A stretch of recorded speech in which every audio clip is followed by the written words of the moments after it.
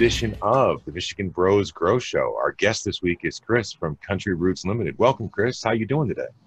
I'm doing well. Thank you very much. Happy to be here. What would you like to tell the audience about yourself as part of the introduction? You know that overall, I'm just a passionate guy about organic farming, um, striving to do what I can to learn the best practices. You know, talking to people that know what they're doing and have been doing this stuff for much longer than me, and um, just learning the ways to cultivate and, and grow proper organic plants indoors and outdoors.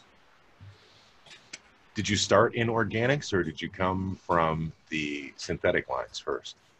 Um, basically took right off with uh, organics, but I did dabble with some synthetics in the beginning and um, was in the process of setting up hydro buckets. Mm-hmm. and then I uh, was kindly introduced to Chris Trump and his natural farming series, series videos that he has on YouTube. And with my background, it just made so much sense what, what was going on there. And, and uh, thought that I had to be a part of that for sure. Definitely, so, I like those.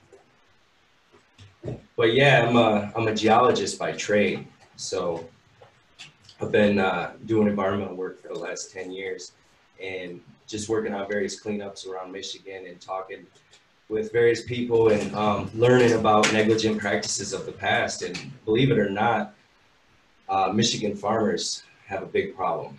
Um, they're they're one of the leading causes of contamination around, you know, and just from their agricultural practices and the things that they've done and, and um, shying away from organic methods and, and just having cesspools of junk, you know. And I'm talking big farmers mainly, and so it's kind of sad. And so when I saw this natural farming kick, it made a lot of sense for me to just take part of that and um, try to motivate people to push that route as much as I can because I believe in it. That's really good. I watched those Chris Trump videos, and like you, it seems like it's the smart thing to do it. You're just way further ahead than I am. I'm just starting to stick my toe in the water, but I yeah. really do like the way of you're basically not introducing anything into the plant that's not going to be there at the end. I have yeah. this big ass farm that's behind my house. It's like, I don't know, a few hundred acres maybe. And they probably spray it once a month with something. And it really makes you, uh, I don't know, it gets me down on myself trying to grow my little crop in my closet and my, you know, as organically or as clean as possible. Not organically, but I don't spray pesticides on my plants and uh, you know we're all trying to do it better, and it doesn't seem like they have a lot of incentive to do that. Yeah, it's you know it's all about ease. You know the ease of things now. Everybody's so busy and just trying to get things done. And you know we've we've lost the realm of working the land. You know our parents and our grandparents tell us stories about working the land and things like that. But it's it's gotten it's gotten fairly sad. And as as farmers and gardeners, we know that we can't just spray the land in the beginning of the year, plant our crop, maybe come spray it one more time or two more times, and then harvest it at the end of the year. Like, I don't know anything that I can grow that simple. You know, it all requires some love and attention, as it should. I definitely agree with you on that. So tell the listeners what this farming consists of. Why is this different than synthetics? How is it different? So, you know, with, with current farming practices, basically they till the land and um, spray uh, pesticides and herbicides. So what does that do? It kills off all the microbiology, all the organic content of the of the land is basically killed off, and um, you left with a, a desiccant land for the most part. They'll put a little bit of fertilizer on there, just enough to establish a root mass for their crops, and you know, and then spray them from there and keep them going. But without the living biology and without the organics, um, being offered and continuously offered through the land throughout the year. Um, we're just desiccating our lands, and and that's what's been happening. So, as a result, you know, people's healths are declining. You know, everybody's got gut health issues now. You know, why do we think that is? You know, I, I think it has a lot to do with what we're all eating. Um, it should be, anyways. You know, it all goes to our gut. So, you know, just we all need a proper balance of probiotics and mycorrhizae and you know these beneficial life forms on the land and uh, many farmers are just not catering to that life form anymore so is it up to the big farmers or is it up to the small farmers? You know, and I kind of believe that the small farmers, we can all plant something in our yards and um, and lead by example that way, and the big farmers will just continuously catch on. That's the way I see it. They have to, and I believe they already are. You know, there's there's a lot more discussion of organics in general now. Uh, I was pleased to be part of the Small Farmers Conference in Michigan. That's up in Traverse City. I'll be going there again this year, and there's like hardly any cannabis farmers. It's all regular farmers, and, and, the, and, there was hundreds of people there, and the whole goal of it was sustainable organic gardening practices. And they had like a hundred speakers, twenty different talk rooms. It's a pretty cool event, and um, so it's good to see people talking about that. It's good to have these conversations and see this stuff spreading. That's my goal, you know, is to just be a voice in this industry. What's the name of that conference in Traverse City? It's called the Small Farmers Conference. And it's probably going to be coming up in February this year. That's when it was last year. I'll definitely be going again. it's at the Grand it's at the Grand Traverse Hotel too, so nice, nice. Yeah. Yeah. It'd be nice to see more cannabis representation there, you know, because we do have a voice in this community now. There's a lot of cannabis farmers in Michigan now. Yeah, but isn't the, growing I was growing? The, I was the only one that had a booth at this event and openly posted, "I am a cannabis farmer" in front of everybody. And people were amazed. They came around and believe me, everybody was talking to me, and they were all curious about what I had going on. But yeah, I'm a you know I'm a licensed hemp farmer, and and I grow some cannabis for for my medicine and, and for some of my patients' medicine. I guess this is a really good junction into asking you uh, what you're growing and how you're doing that. You said hemp first, so let's ask you about hemp. We haven't had any any hemp people on the show so far, so I think our viewers might be pretty interested in that. Yeah, I uh, I was late to the hemp program this year. Um, I kind of let some of my other friends get it and was seeing what they were doing and see what kind of plant plants were around, and um, I decided uh, in, at the end of June I would apply for my license, and so I, I put a license in, and I, I, planted an acre spot, and just decided to you know throw out 50 plants and see what they all look like and what they do, and just learn something about hemp. And, and I got a use for the medicine. You know, I'm not going to just wholesale this out. I'll, I'll I'll take care of it properly, just like any other plant. Um, so I'm not a huge hemp farmer at the moment. Right now, we'll be just making some craft medicines for us, but by I mean, next I, year, by next year, you'd be talking to, right? All of our listeners, if they're going to be growing hemp, they're going to grow an acre of it. They're not. Yeah. Gonna, yeah. And yeah, I mean, it's a little bit confusing because you have to apply for a license to grow hemp, but or they consider it in your plant count, I believe. You know, like cause we can all grow 12 plants supposedly. So I don't know. I believe but with federal regulations, I would hope to see it separated at one point that you could grow your 12 plants and then maybe you could have 12 more hemp plants or something and you don't have to get a special license for it or nothing. You know, that would be great.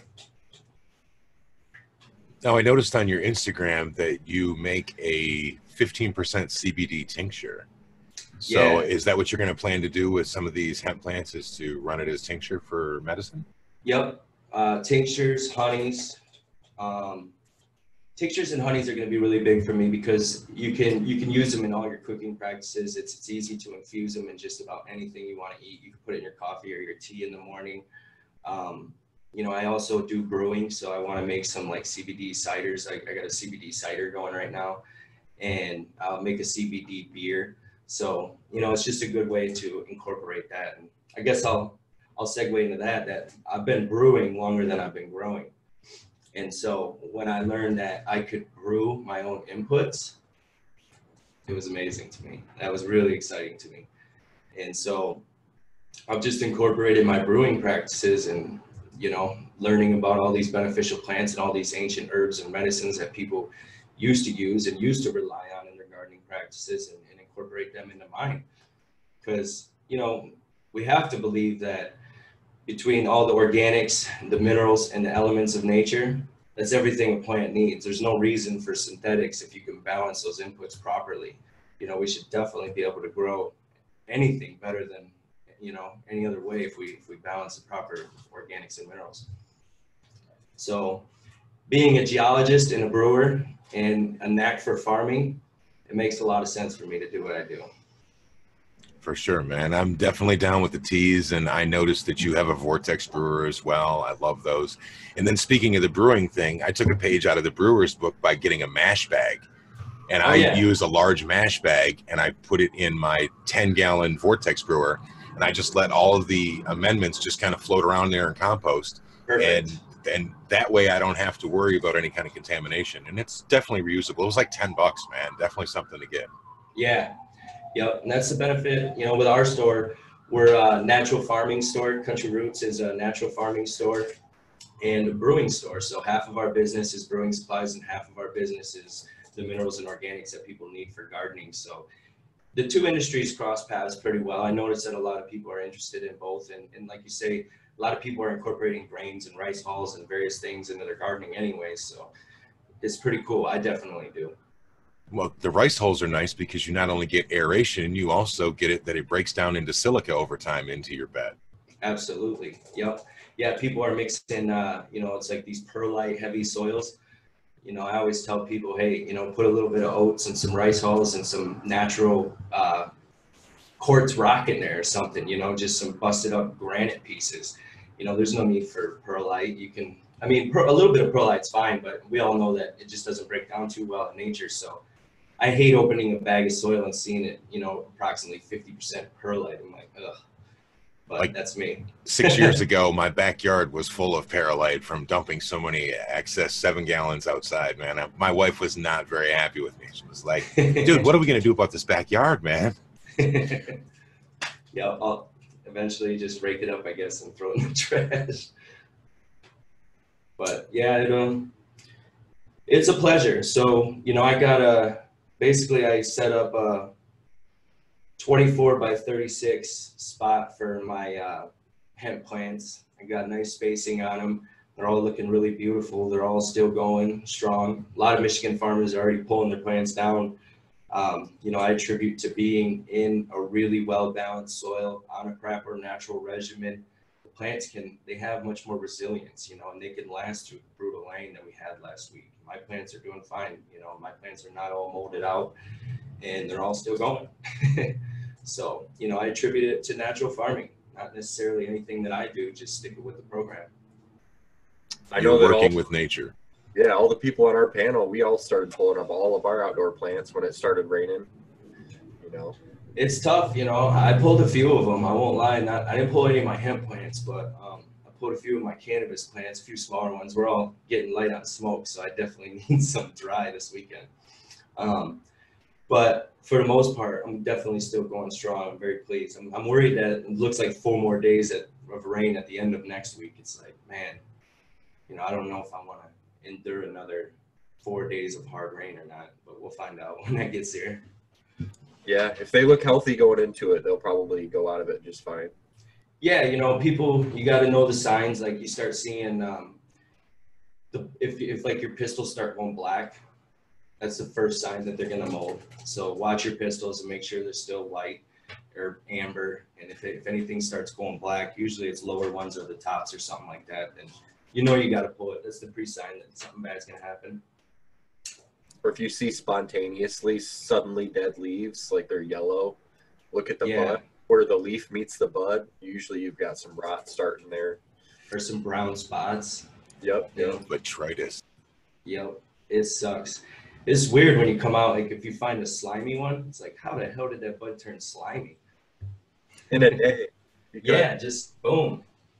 Yeah, Just I'm a complete gardener. garbage. I check my plants every single day, and I, I went out and I was like, oh, cool. Bud rot right here. Yep, that's right now. I'm I'm making a round morning and night for sure. And my wife helps me too, bless her soul. So I'm not out there by myself. I got her keeping an eye out on things with me. Old man on our on our panel jokes about sleeping with his plants at the end of the season to make sure nobody rips them and to watch for a PM and uh, bud rot. Yeah, yeah, and, the rippers too. You know, I'll, I've known, I've been hearing stories, but I can say four people really close to me got ripped, and it was all separate situations, different areas, and it's heartbreaking, man. It's it's really heartbreaking. I really, you know, it's with the legalities and everything. I hope that this will slow down and people will just learn that they can just get some plants of their own. But I think we all have an idea that's a lot of times it's kids, so not necessarily kids, but younger people that don't have much. Right, and it, it's easier, right, than uh, putting in the time and watching shows and uh, learning about natural farming or learning any method and actually growing the plant. It's not as easy as growing a weed like everybody likes to say it is. Yeah, and that's a big thing too. Is just all these hemp farmers. Is you know some of these guys. Like I said, I set up a small project, knowing that my project this summer is by far bigger than any project I've ever done. So what what right did I have to try to set up five acres of hemp and think that I could successfully get through that? Like I got to work my way up to that. And some of these guys are just getting way over their head. And you know, where first thing is where are you going to dry it? Because we all know that you can have a great plant in the end, but if you can't dry it properly, you're screwed. So who's going to trim five acres too? Now let's let's not get shortcutting on that. The trimming is the killer. Yeah, exactly. How are you going to trim it and properly dry it? People are talking about running it through combines and baling it up. It's like, what are you going to do with that? You better just make clothing out of it or rope or something. But I think a lot of the big CBD farms, hemp farms, are processing right straight into just CBD oil and then the smaller ones up here right now, like one acre farms like yours, are focusing on hemp flower. Yep, that's yeah. I'm going for quality flower, and then I'll just be able to turn that down to you know, like I say, tinctures and honeys for the most part that are easy to infuse. And we'll smoke some of the flower. I, I'm encouraging a couple people around me to quit smoking cigarettes, and so I'm like, hey, I can uh, give you a great deal on a pound of hemp, and you can quit smoking cigarettes maybe. That's a good idea. And I really like, um, since cannabis now is so strong, I like mixing it with hemp. Yeah.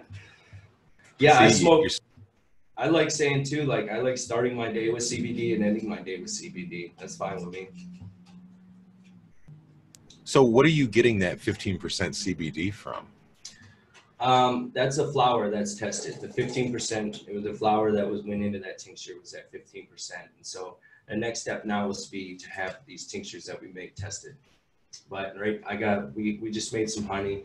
We made some tinctures. We got a few things. So once I get a couple things made up, I'll, I'll send them to the lab and we'll get all those tested.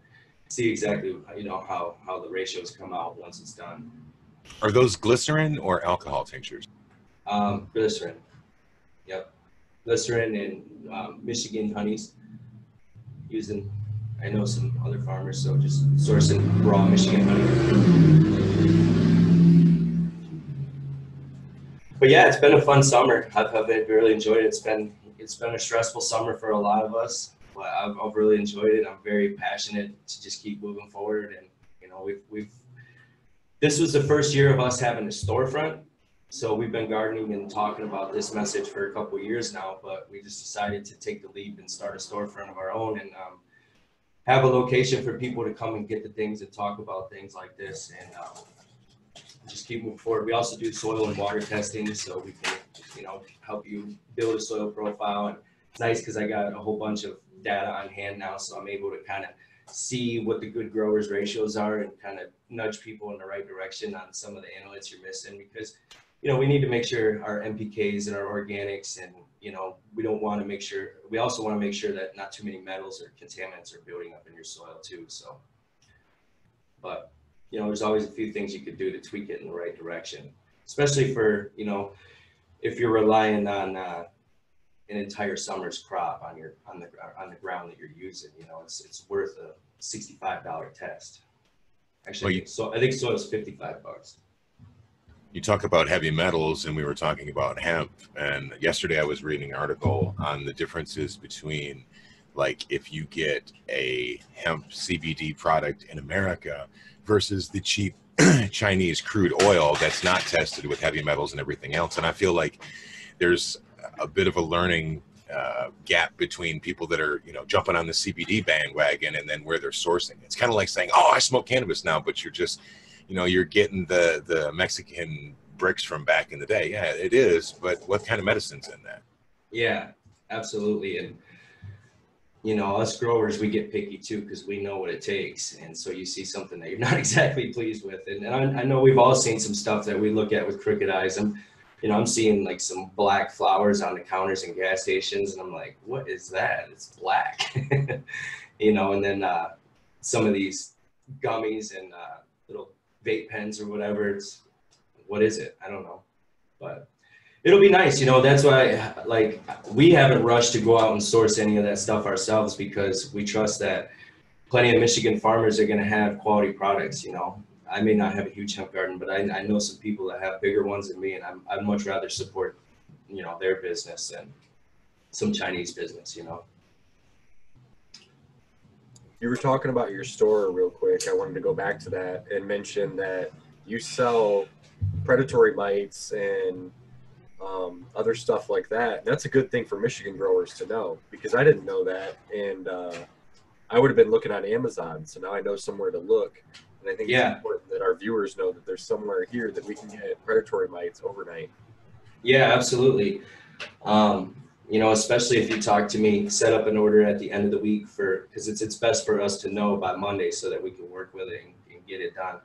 Um, it's hard for uh, people to come to me on Wednesday or Thursday and inspect it on Friday. I'm like, eh, maybe, you know, but yeah, we uh, we keep a lot of bugs in hand, and um, we've been supplying a lot of people.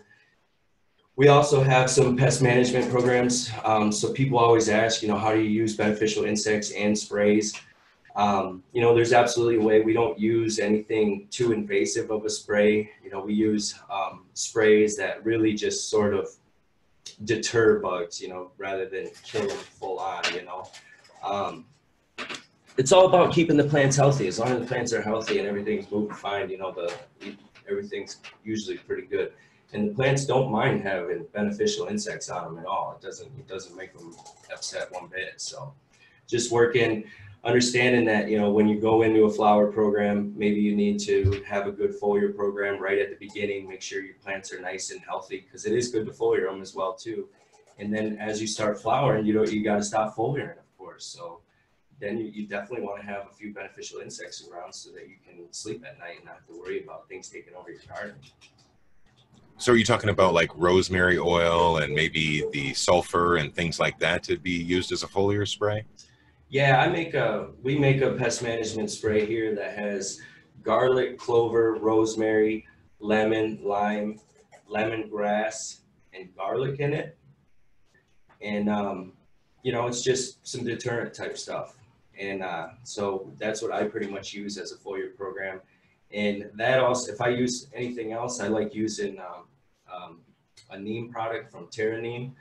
And, and there is some debate on neem, and I will definitely say that I'm aware of the debate of neem. But if you use it properly and have a good quality neem, what I do with the neem is I mix it with our IPM, and it makes sort of like a neem tonic. And I use it, like I say, at the end of your veg cycle and going into flower. You want to make sure that you have your plants full on healthy, and so that's when I'm heavier on my foliage program, using a neem tonic and then after that, I'm just running beneficial insects from there. And we've been very successful. I've, you know, it's it's amazing how, you know, we've helped a lot of people. A lot of people are, you know, have been hesitant to, you know, do various things, but once they move in, everybody's very happy with, you know, what's going on here. Well, I think Michigan growers, a lot of caregivers and stuff are getting their products tested more and more often. So they're looking for organic ways to control pests, so like like we're talking about right here. I might be a synthetic grower, but I can't rely on pesticides reliably anymore when I got to do these expensive tests and potentially get my whole crops rejected. Yeah, You know, it's really nice to have that ability to go to you and ask you uh, for those things. Yeah, I mean, even in synthetics, you, you know, absolutely, you can still use beneficial insects. Just, um, I will say too, you know, with uh, with the synthetic growing, I, I always want to say, point out that I don't have a bias towards the industry. First and foremost, I believe that you know, if you just stick to a proper regimen and know how to get that clean outcome in the end, that that's first and foremost most important. So. Um, you know, everybody has a program. I have some friends that do synthetics and, and I trade flower with them all the time and I love it. You know, it's, it, I'm not opposed to it at all. I just, it's all about quality in your, in your work, you know, and having pride in your work. Don't, don't worry, I, uh, I bash the salty, shitty synthetic growers too. I, I used to be one of those guys. I had to learn from that. Yeah, you know, it's like you want to. We all want to optimize what we're doing. There's no doubt about it. You know, and so it's hard to set yourself back. But if people say you could pump this at them and it's going to do this, and And yeah, I've seen some crazy buds, you know, on synthetics where they could just grow, grow, grow, grow. They just don't stop growing. And yeah, that's cool, but I don't know. Find a balance, keep a proper rotation, have a cycle, have, you know, if, if you really want to have, um, you know, regular medicines coming at you, then you got to have a couple rooms. You know, you got to have a veg spot, a flower spot, and you could run an eight, 10 week program and just stick with it. I've always just been like, hey man, just grow your own. I don't care how you do it, you know, whether you do it through hydroponics or whether you do it through organic or whatever, it doesn't matter how you grow your own medicine. But I feel like that like that might be the most important thing for you to start if you really think about it. In pre-show, we were talking about this and Sequence had made a great statement about what bad growers should do. I don't remember what I said. Oh yeah, I said oh yeah. So I was talking to a friend of mine and uh, we were going over a room and I was explaining all the effort it takes to be a good grower and stuff. And he was kind of asking me for shortcuts and things like that. And uh, said bad growers should just buy their cannabis. oh yeah. Is that what Yeah. I said? Is that how I phrased It I was it was like phrasing it was like uh, talking about I think it was lazy growers. We're talking about what the best way that lazy growers can spend their money is to Oh, just yeah. buy cannabis instead of trying to just explode their own shit. Yeah. Or just give up on the indoors and set yourself up a little outdoor structure because it's easier outside. Just set yourself up a little something, get on a little program. I get people coming in our store with twenty dollar budgets, ten dollar budgets all the time. They just got a plant in the ground. It starts flowering. They want something to feed it. Well, here you go. So where is that storefront located? Because somebody listening is going, okay, look, Chris, I, I'm sold already. I want to come see you. I want to talk to you. I want to buy some product from you. Where do they go? We're in Newaygo, West Michigan. So pretty nice location between Grand Rapids and the northern community. And um, I chose this spot just because I, I didn't want to be in the city. but we're all, we also have a website, countryrootsltd.com. And um, we're always talking to people there and, you know, try to point people in the right directions. I do my best I can to keep up with the, keep up with the demand and the questions coming in. Yeah, I've been browsing your website the whole time we've been talking. It's really interesting, all the stuff you have on there. It's a really well put together, well put together website. So, uh, good job on that. Thank you. That's something else I did myself. I was a project that I didn't anticipate having to do necessarily, but you, it's not too bad. Getting it started is the hardest thing, that's for sure. It's a lot of work in getting it running, but once you got some things on there, you get five things on there, then it's just adding things from there. but yeah, um,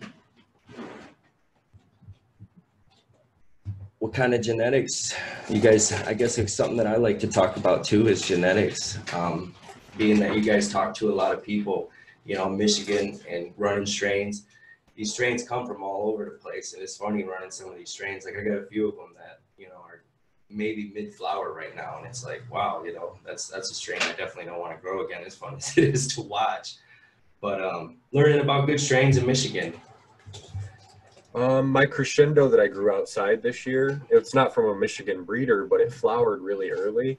Mhm. So it finished early. It's already done. I was really excited about that. Um, yeah I don't know if that's because I think it started flowering when we were at like 13 and a half hours of daylight. So instead of it at being at 12, it got to start quicker. Um, so it got like a head start above even quicker flowering plants, you know, normally shorter day plants. So it really had an advantage there. So I'm going to look into that more when I'm yeah genetics going forward.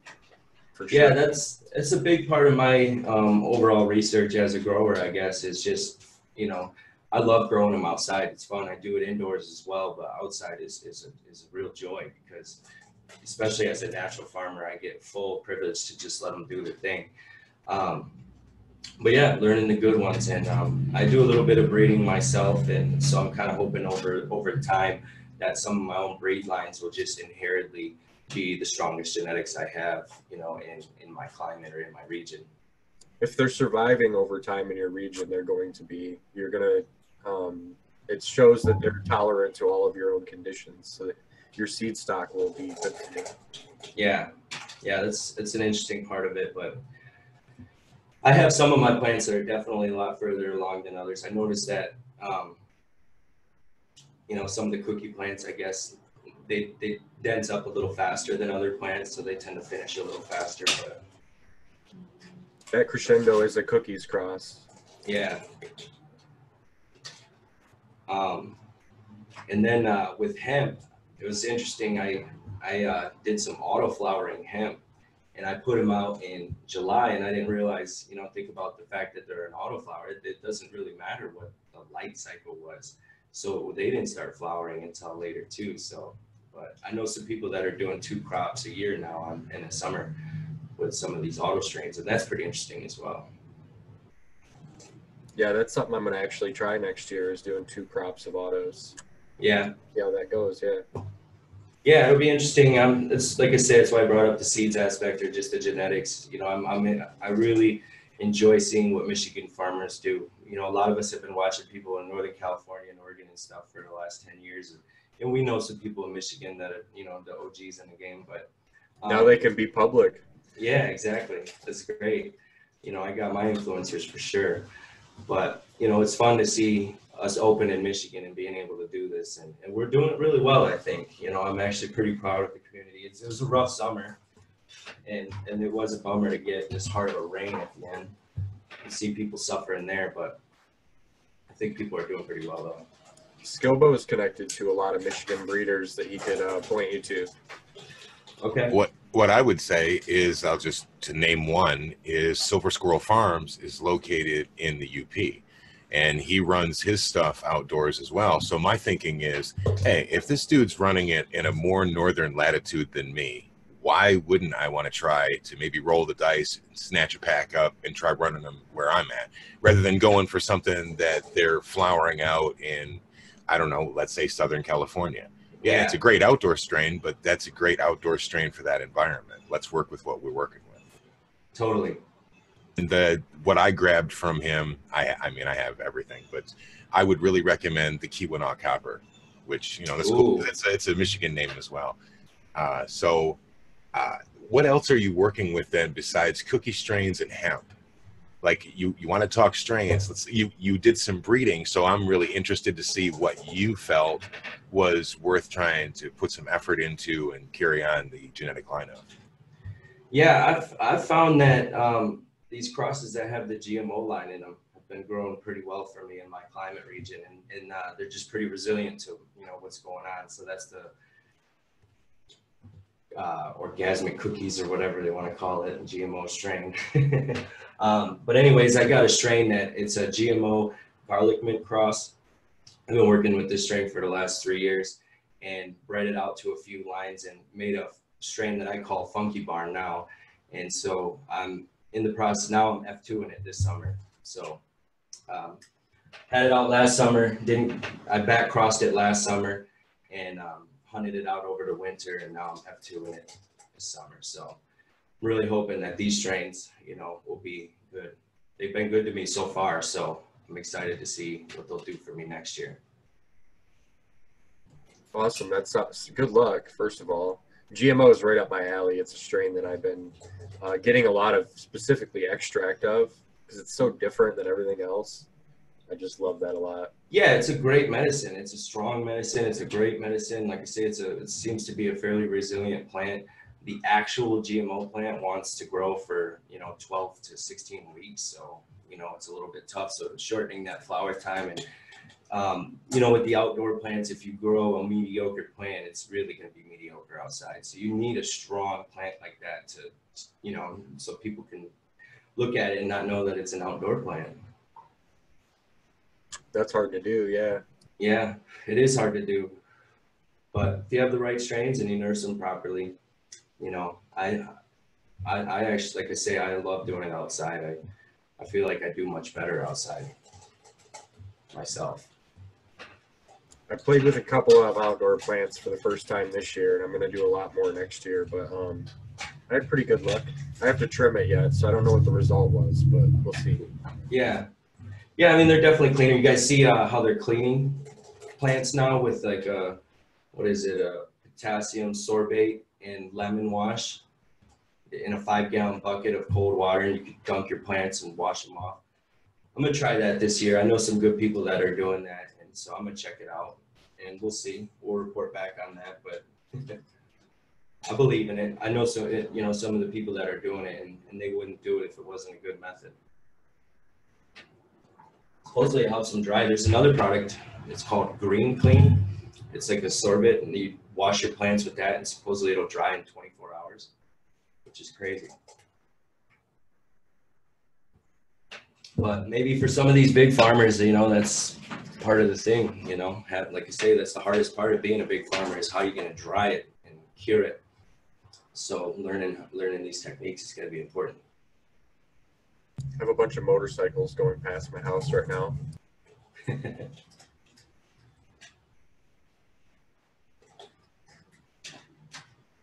yeah, we uh moving on this next year, we're going to be trying to hunt more hemp strains, do a better job of hunting hemp strains and having um, hemp strains available for people at our place. And, you know, I think that, you know, however many hemp farmers there were this year, there'll be more next year for sure. And, you know, you guys probably saw it was just a crapshoot for most of them. People were just running around with their tail between their legs trying to find plants and do everything they can. And, and it was tough, you know, so, it, you know, that's what part of the reason I'm excited to see Michigan farmers just get their stuff together more and more and more and, and take off and, and do this well. There's definitely a demand for it.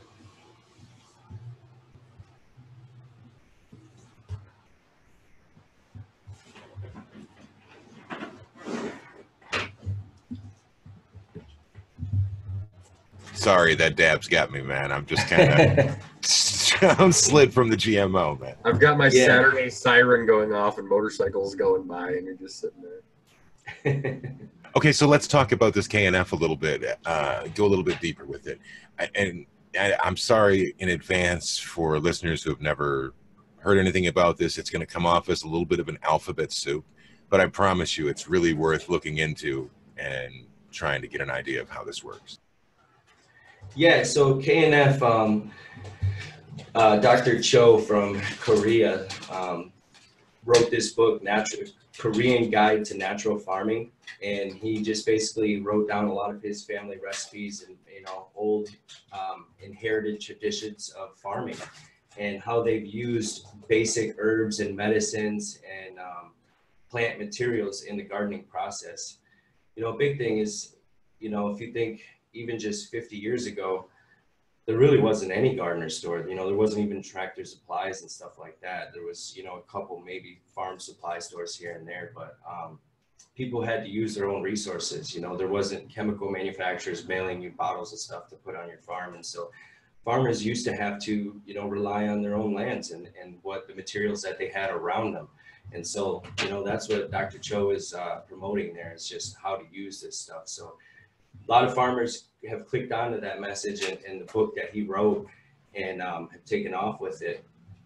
And you know, someone as myself with the background in the in the brewing and the fermentation and, and gardening and geology, like I said, it just it really took off with me. But the idea is is to take plant materials, fruit materials, um, natural bone materials, um, natural organics, um, microbes from nature, harvesting and collecting these beneficials and introducing them to your land. And so there's various products that you can make. You can make a plant juice, you can make a fruit juice, you can make calcium feeds, make a herbal nutrient supplements.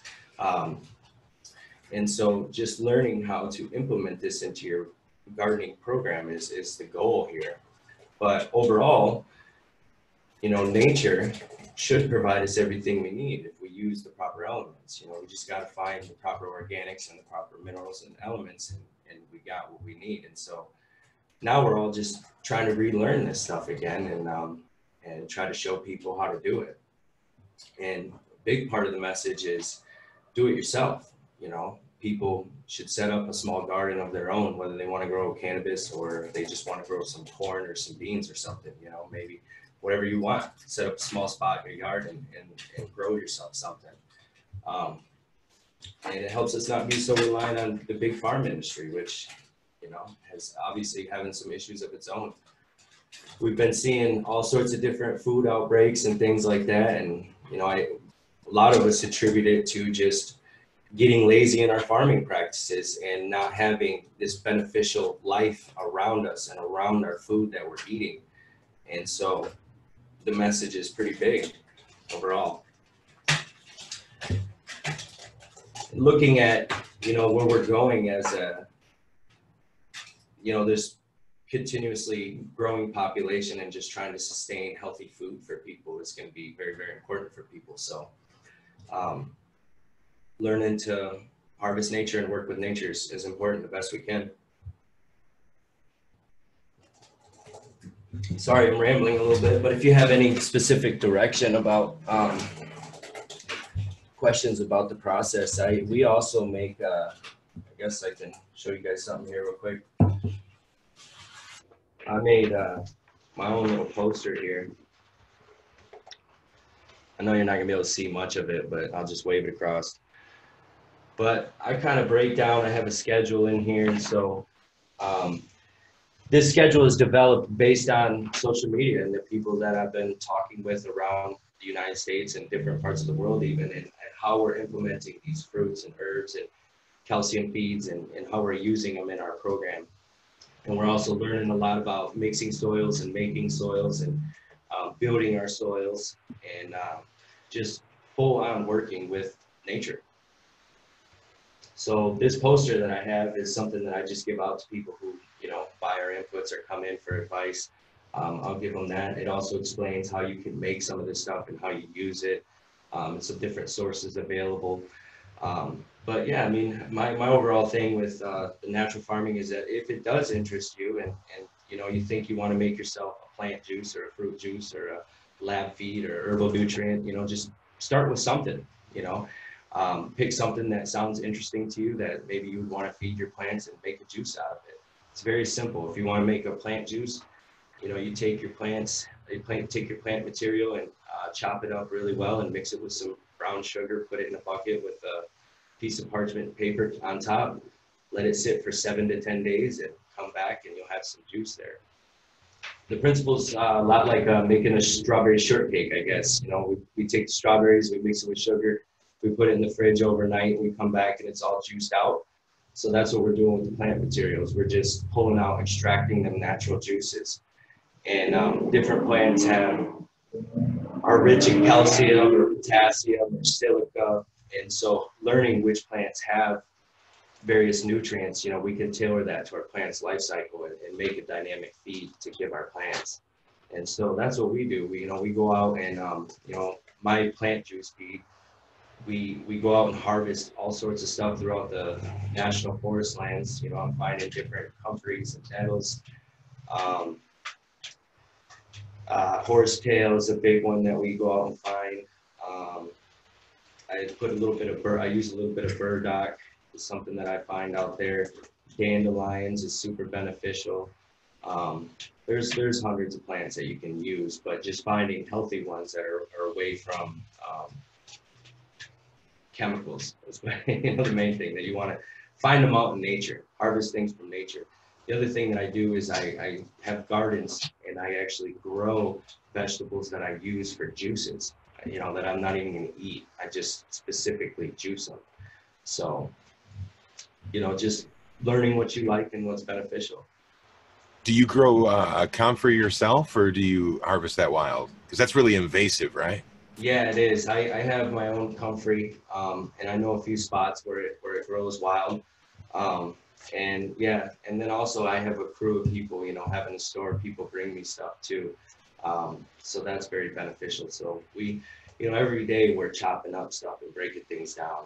Uh, I got great big cylinders and just breaking all these plant materials down and extracting the juices. I think it's really awesome that you sell all of these products pre-made, but you really advocate that people should learn how to do this and go out and do it themselves and learn the process. You know, if there ever is a zombie apocalypse, there won't be a store to go and buy your uh, your KNF. But you have full packages. You have harvest pack, veg pack, you know, farmers pack, and it's all a whole schedule of nutrients, just like any other regimen. I think that's really interesting.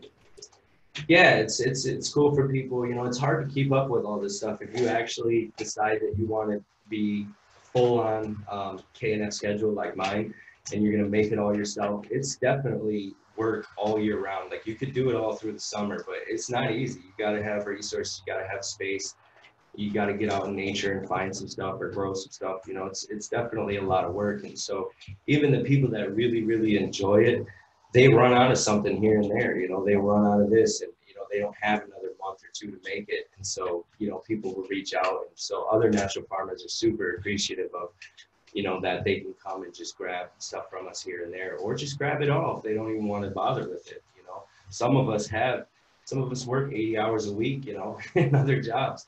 You you're not gonna have time for nothing. You can go home and check the plants, feed them, and go to bed.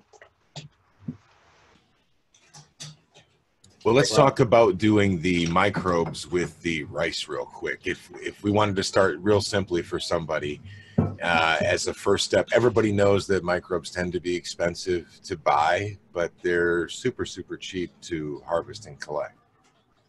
Yeah, so uh, mycelium grows all over in nature. Uh, mycelium is what breaks nature down and recycles it back to the earth, and so um, it has a lot of beneficial properties, microbes. You know, if you talk to scientists, we might even all come from microbes. You know, earliest life comes from microorganisms. So my, the microdiversity, we don't know, we don't, we can't underestimate its importance of microdiversity in our lives. And so what we do is you could go out into a native wooded area and find some nice green, wet area um, and you'll see that the leaf matter, maybe there's some down sticks on the ground. Lightly pick up some of that leaf matter and that stick matter and look underneath it and you'll see like a white fuzzy mycorrhizae growth. And um, that it just latches on to the material, slowly breaks it down and, and um, adds that diversity back to the land. And so in order to harvest your own microbes, you've got to find this mycelium in nature and bring it back and culture it and um, make a usable product out of it. And the way to do that is you um, you take uh, rice and you cook it halfway, just a halfway rice, not full on mushy, but halfway, um, with a little bit of herbal nutrient plant juice in it. Um, stir it up, cool it off, and spread it out in like an oak box. And then you um, cover that oak box with a piece of um, like paper towel, like a tougher paper towel, and you put the white mycelium mass on top of that, and the mycelium will actually grow through the paper towel and culturize itself on the rice. So yeah, I'm talking a bit of lingo there, but it is pretty simple, really. You're just taking the microbes and culture it on the rice. Um, there's other ways to do it. Microbes obviously culturize on other wood matter. They culturize on, you know, if you could take like some oat chips and rice hulls, other different types of lighter material, will will also culturize microbes. Um, but if you get a nice growth on it and you actually succeed in what you're trying to do, what you do is then mix it with a little bit of brown sugar because the microdiversity will um, stabilize itself and feed on that brown sugar. And so you take your culture and just mix it with a bit of brown sugar and store it in a jar. And, um, you know, I put like a teaspoon or a tablespoon into my feed, my brewer feed, and, um, and I brew it up overnight and it culturizes in my water. And then you can feed it on your plants or you can use it as a foliar feed. But why is it important? That's a good question, right? Um, I guess I'll go there. It's important because this is what a lot of plant life is missing is microdiversity. When we use synthetics or we try to grow plants inside or we grow them in an, an environment that isn't completely natural, you know, it's deprived of microdiversity. And so microdiversity keeps that plant life, you know, much more um, healthy. It also is a carrier of feed to the root mass. So microbes build up around the root mass and basically tell the nutrients, come here, come here. We want to feed this plant. And so build, having that microdiversity is keeping your plant healthy and keeping your nutrients moving through your soil mass. I was uh, looking at doing an earthworm casting with, you know, if you go to like uh, Walmart, you can buy baby oatmeal. It's completely organic. It comes in like the sealed plastic box. I was going to take a cloning tray and I was going to put earthworm castings in that oatmeal, mix a little bit of molasses in there, wet it down, and then put my heat pad underneath of it. Put the lid over top and then cover that with a towel to keep it nice and dark and try that for seven days and see if I can get anything going. Yeah, that's a good way. So um, that's a good point you bring up. So another way that I culturize it is I'll I'll mix up my soil and have my organics in there, and I'll take some of that microdiversity that I've found in nature and I actually put it right on top of my soil. I'll put it in like a tote, and I'll put it right on top of the soil and sprinkle rice hulls and oats around it, and you know just put the lid on, store it in a cool dark place, and don't open it for a week. Come back and sometimes it's just a full mat on top there, and then it will colonize for sure. Yeah, and then just mix it right in the soil and you're off and running. You know, you got a beautiful, healthy soil. This seems so easy to me. Dude, we've been trying to convince you like since fucking Kushstock. And I'm not saying that this way is the only way or the best way. I'm just saying if you really want to talk about frugal growing, shout out to Abolished Farms. If you really want to talk about frugal growing, let's go back to the way that we've been doing it for 8,000 years, man. It's probably cheaper before currency. Well, I mean, particularly this microbe part because microbes are an expensive thing to add to any grow and uh, this in particular cuts a lot of the cost and it seems very simple. I'm one of those guys that works 80 hours a week and doesn't have a lot of time to mix up a bunch of stuff. That's one of the reasons why i'm in a synthetic environment.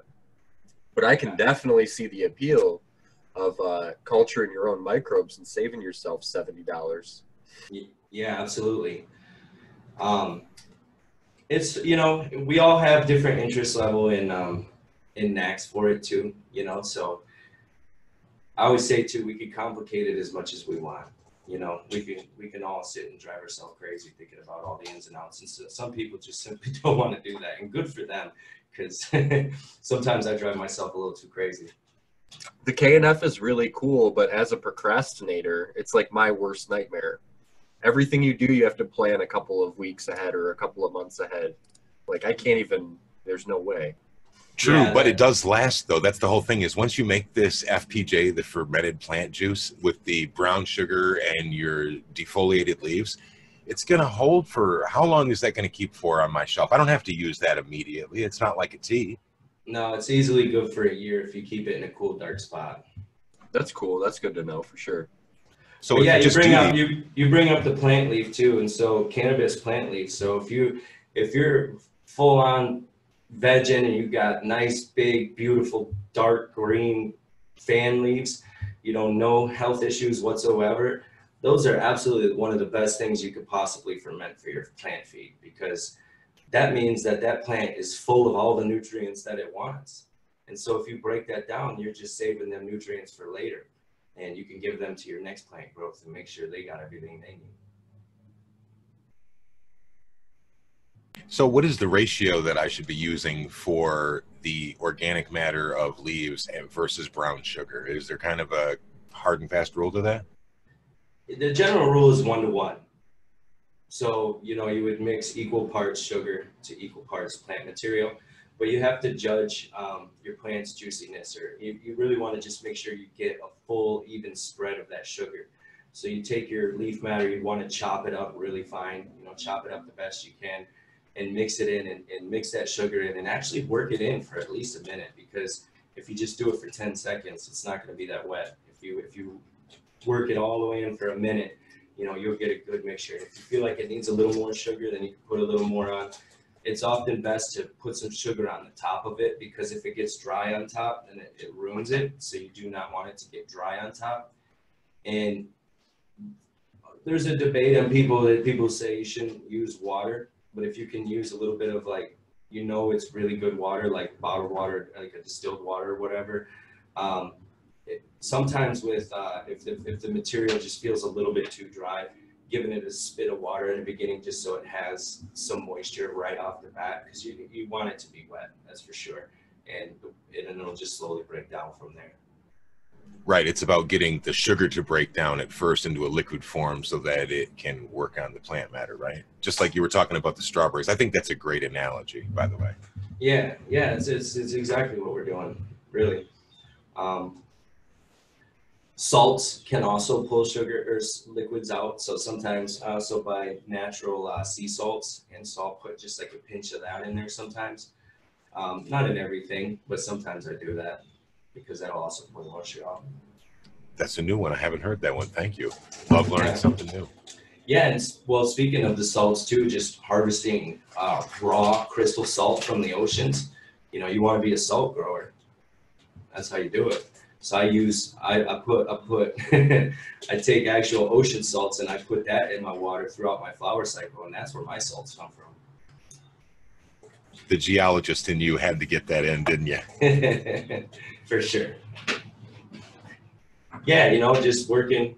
I understand the minerals and the organics, and and I just want to work with them as best as I can, and, and try to show other people because I've been very encouraged by you know, like I say, some of these other people that have been doing it longer than me, and and, and have showed me the way.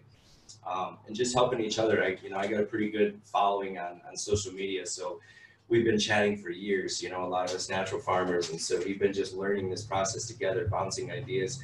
You know, we used to just send each other samples of stuff like, here, check this out, here, check this out. You know, and it kind of took off, and I just decided, hey, uh, I got the skills to make this on a bigger quantity, but never do I intend to supply any any any portion of this world necessarily. Just keeping up with the you know small small following, a small demand is my is my goal. You know, once I have to make over 50 gallons of something, then I'm gonna stop.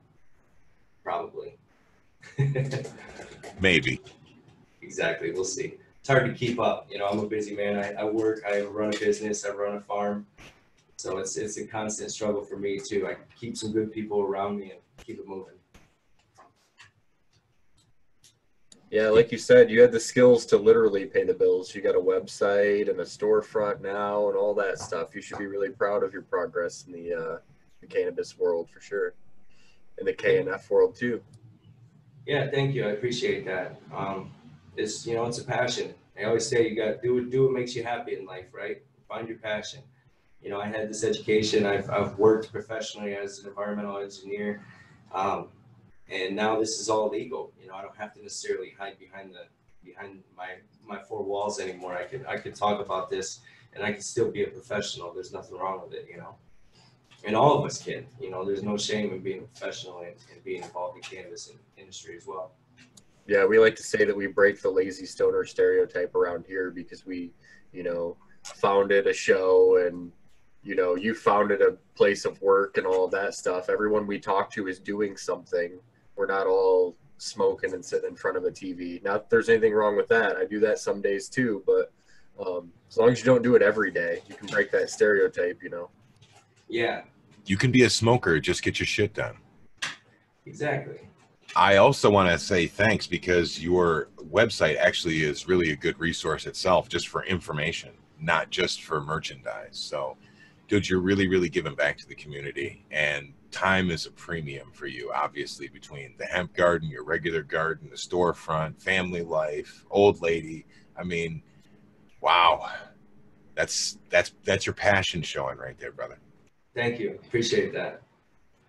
Yeah, it's cool. It's it's it's it's a privilege to do what I'm able to do right now. You know, uh, I would have never envisioned it. We all grew up um, some punk ass kids just having fun. You know what I mean? And and now now we get the privilege to go out and, and live our lives freely, and don't have to be a punk ass kid anymore. Yeah, that's right. I love that. I guess my last question for you is Is there anything that you want to make sure that you say before we get off of here? Is there anything that you would regret not talking about before we're done? Mm.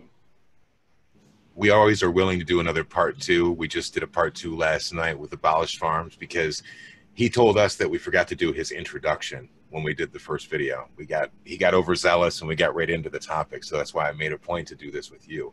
And I don't want you to walk away and go, ah, man, I wish I really would have thought to say something about this. We still have our shout outs and stuff, but uh, definitely, man, this is your time.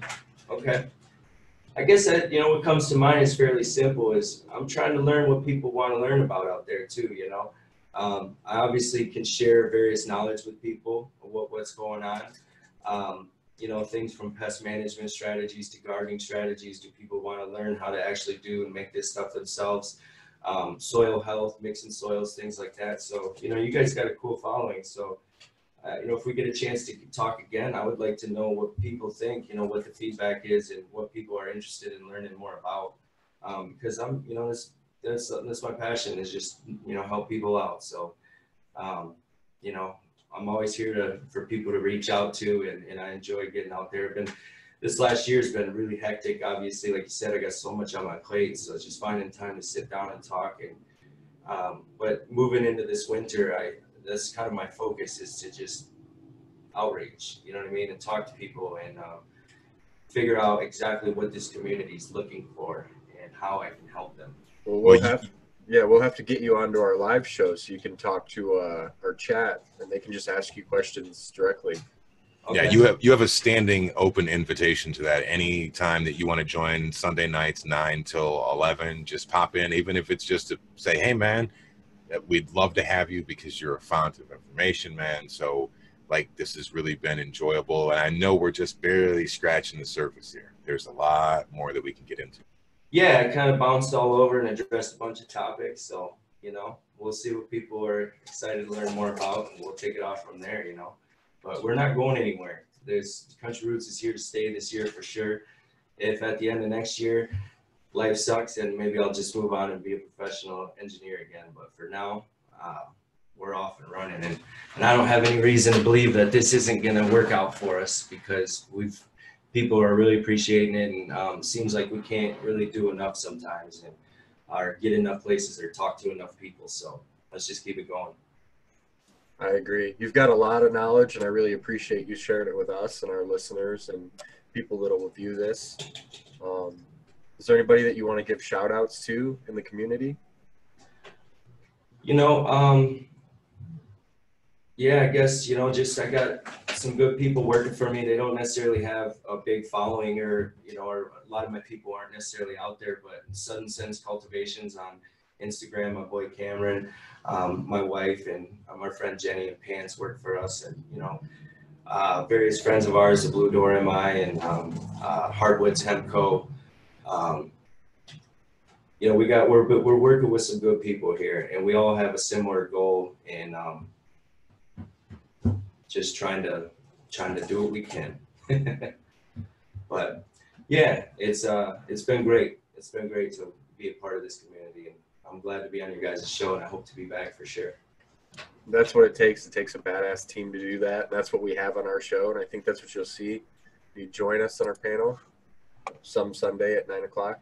Yeah, absolutely. Like I say, things are slowing down for me. We'll, we'll get through this harvest, and um, yeah, I'd love to come back. Let's let's see what kind of feedback we get, and we'll we'll, we'll plan something out for the next time. I promise you, people will love this. Skilbo, what do you think?